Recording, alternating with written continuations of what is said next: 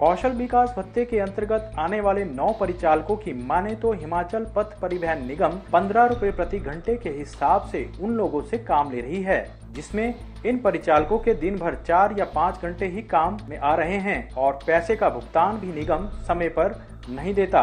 परिचालकों का कहना यह भी है कि इन्हें रात्रि भत्ता भी नहीं दिया जाता, साथ ही बिना ट्रेनिंग के ये लोग हिमाचल पथ परिवहन निगम की बसों में अपनी सेवाएँ पिछले दो वर्षों से लगातार दे रहे हैं। कितने दिनों से हिमाचल प्रदेश पथ परिवहन में परिचालक के तौर पे अपनी सेवाएँ दे रहे हैं? सर दो साल से। तो आज सुबह क्या घटना घटी आपके साथ? सर मैं रूट लेके जा रहा था और खनड़ग में नालागढ़ वाली बस ने कंडक्टर ने मेरे को रोका वहाँ पे। बोलते आपको पता नहीं है आज हड़ताल है। मैं क्या मैंने अखबार पढ़ी निकल की? बोलते आज हड़ताल है और हड़की में जाके सारी बसें खड़ी कर दो। तो इस दौरान हमने सारी बसें खड़ी कर दी। तो ये कितने रूटों के आपके साथ परिचालक हैं? ये नौ रूटों के। ये कौन कौन से रूट हैं? ये है शीलघाट है द्योत है शिमला है पनोई है और रौड़ी मांजू है और बलेरा वाला है और चाखड़ है जी और सोलन है जी तो आप क्या चाहते हैं? हम चाहते हैं हमारी कोई नीति बनाई जाए, हमारे को रखा जाए, हमारा शोषण ना किया जाए। हमारे कोई पंद्रह रुपये घंटे के हिसाब से दे रहे, जिसमें छः घंटे लग रहे, तीन लग रहे, कभी दो हज़ार मिल रहा है, कभी कुछ मिल रहा है। इसमें हमारा गुजारा कहाँ हो रहा है, सर? और बीच बीच में निगम द्वारा इन्हें छोड़ा भी जाता है। इस विषय में जब अड्डा प्रभारी अर्की रामलाल डोगरा से बात की गई तो उनका कहना था कि ये लोग उनकी जानकारी के बिना ही हड़ताल पर चले गए हैं। आज ये जो हिमाचल पथ परिवहन निगम मंडल अर्की के जो परिचालक हैं वो किस बात को लेके हड़ताल पे चले गए अचानक? तो हमारे जी। तो आपने इस विषय में क्या कार्रवाई कर रखी है? हमने आर्मी साहब को बता दिया। जी। थाने में बता दिया। जी। तो इसमें क्या विभागीय कोई कार्रवाई हुई है क्या?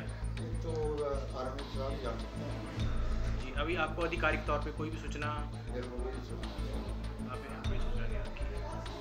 जहाँ एक और हिमाचल पथ परिवहन निगम द्वारा रक्षाबंधन कड़वा चौथ त्योहारों पर महिलाओं को निगम की बसों में किराया फ्री था वहीं दूसरी ओर इन लोगों के अचानक हड़ताल पर चले जाने से मंडल अर्की के लोगों को भारी परेशानी का सामना भी करना पड़ा।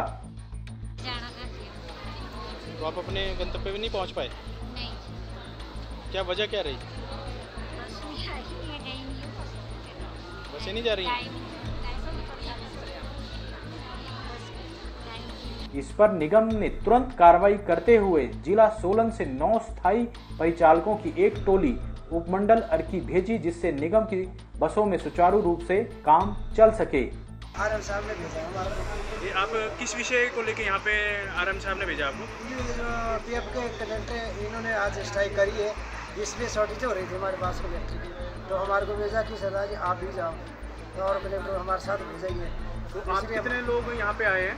हम आए हुए हैं जी छः छः उनके नाम क्या क्या है सर?